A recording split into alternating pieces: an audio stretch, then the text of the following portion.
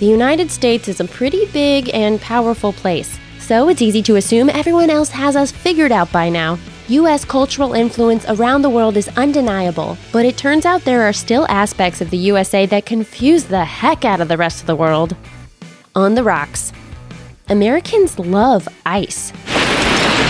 Yep, yep, she likes me. We take our liquor on the rocks, we ice our coffee and our tea, and we fill our fountain drinks to bursting before adding a splash of soda. Could I get more ice, please? But if you've traveled abroad, you probably noticed that getting ice in a drink is the exception, not the rule. According to Smithsonian Magazine, this might be because Europeans see ice as a waste of space. Free refills are rare in Europe, and per the BBC, France has even banned them in the battle against the bulge. But writer and self professed professional drinker Henry Jeffreys suggests a more historical explanation. Before refrigeration, ice was a luxury item in Europe. Since it was so hard to keep ice frozen, only the rich had access to it. But it was much easier to get ice in America, where it was literally harvested from lakes and kept cool in special boxes. The automatic Permafreeze with the super duper automatic door. But even today, Europeans continue to sip their tepid liquids, and Americans have supersized their cups to fit all the ice. How is this a child sized soda? Well, it's roughly the size of a two year old child if the child were liquefied. Puritanical prudes. America was founded by Puritans, and even today, when it comes to our bikini areas, we could not be bigger prudes. This is obvious in pop culture. Getting dirty on film usually gets an R rating. Meanwhile, violence has to be incredibly graphic to get the same. In a 2014 YouGov poll, parents rated graphic violence just as deserving of an R as female exposure, male exposure as slightly worse, and sexually oriented nudity as much less acceptable to anyone under 17. In Europe, the opposite is true. According to The Hollywood Reporter, the erotic lesbian drama Blue is the Warmest Color, which was rated NC 17 in the US for graphic love scenes, was rated suitable for anyone over 12 in France. Rick Steves' travel blog warns Americans that sightseeing in Europe can mean seeing lots of flesh on billboards, in government promos, and on saucy postcards you can send home to your pearl clutching friends. Do we really need to know everything that's going on with you? Small talk. If you venture outside in America today, chances are you'll have numerous conversations, even if you're just browsing the racks. That's because Americans are the world champions of small talk. So, Ryan, what do you like to do to relax? I like to play basketball. Cool. But according to the bonjour effect, the French might shut down a conversation with you if you ask what they do for a living. In The New Yorker, Karan Mahajan, who's originally from India, says it took him over a decade to master the art of American small talk. In his home country, he says interacting with shopkeepers is about your transaction only, not making best friends. At the end of the day, you're you and I'm me. Doggy bag.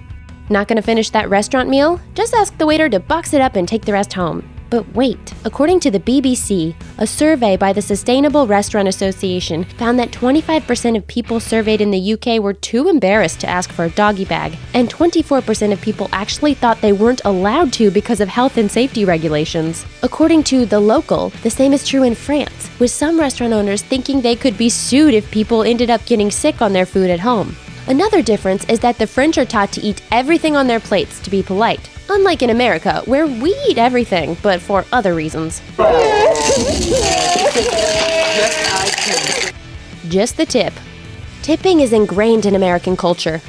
It's just the SATs all over again! But to foreigners, tipping can be an absolute minefield. BBC America had to tell its readers that tipping wasn't actually legally required, even though it also warned that if you don't tip, you might get chased down by a waiter wanting to know what's up. So until tipping is officially off the menu, keep up on your math.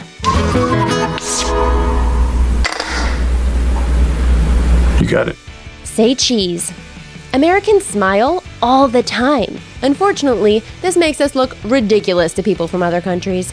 According to a psychologist at the Polish Academy of Sciences, people from Japan, India, Iran, South Korea, and Russia think those who smile look significantly less intelligent than those who don't. And people in India, Argentina, and the Maldives think smiling makes you look dishonest. Something funny? Smiling is so foreign to some countries that American companies actually have to teach their employees to grin at customers, which is what happened when McDonald's opened in Russia in the 90s, according to NPR.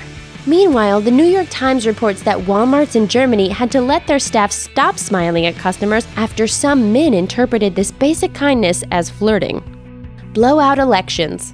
Did you know that Donald Trump is already campaigning for 2020? The rallies he attends are paid for by his re election campaign, meaning the race for the White House began a month after he took office. The cost and length of American elections are obscene when you look at other countries. In 2012, the cost of all federal U.S. elections was $5.8 billion. Meanwhile, the 2010 British elections cost a mere $49 million, which, according to the BBC, means we spent 120 times as much total and 23 times as much per person.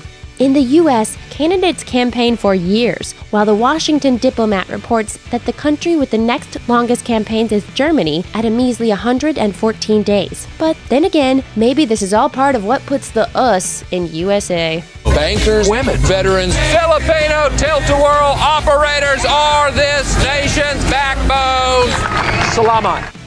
Thanks for watching. Click the grunge icon to subscribe to our YouTube channel. Plus, check out all this cool stuff we know you'll love too.